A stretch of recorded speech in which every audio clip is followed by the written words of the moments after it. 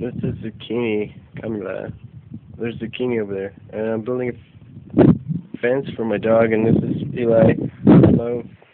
I'm on this chair. It's uh, this kind of contraption I just made. It's bungee cords. Like a little net, net thing. Oh, I can't get it. It's kind of hard to get in and out. I guess it's like really bungeed up.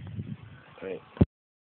Just gotta stand on something and then, then you gotta hold it down and hope it doesn't snap you in the eyes.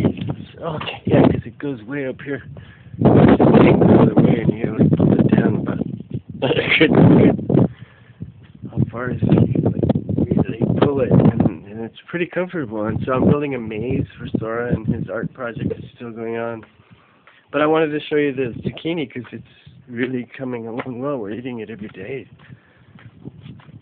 My dog is over there. Check this out, man. These things are huge.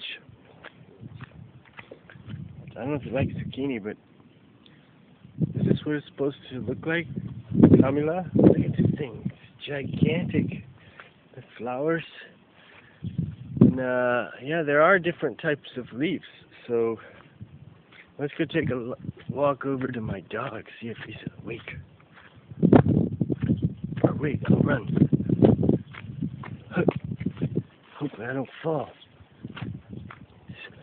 Hey, awake. Hey, you're up. Say hi.